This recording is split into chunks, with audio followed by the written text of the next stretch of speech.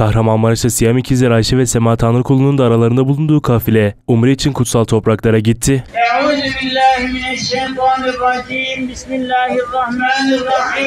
Kahramanmaraş Fuar Merkezi'ne 70 kişilik kafile için tören düzenlendi. Kur'an-ı Kerim ve ilahilerin okulmasının ardından Umre'ye gidecekleri yapacakları ibadet ve kurallar hakkında bilgiler verildi.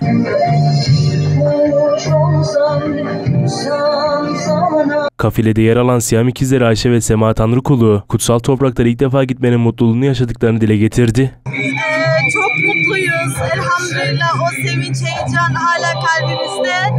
Ee, elhamdülillah tez vakitte ona uğraşırız. Heyecanlı olduğunu ifade eden Sema Tanrıkulu, çok mutluyuz. Elhamdülillah o sevinç ve heyecan hala kalbimizde. Duygular paha biçilemez güzellikte diye konuştu.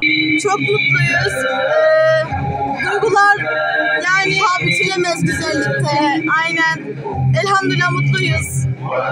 Rabbim, Selametle kalın. Hayırlı Rabbim yol açıklığı versin inşallah. Amin. İbadetlerinizi kabul eylesin. Allah'a emanet. Amin. Duaların ardından 70 kişilik umre kafilesi kutsal topraklara uğurlandı.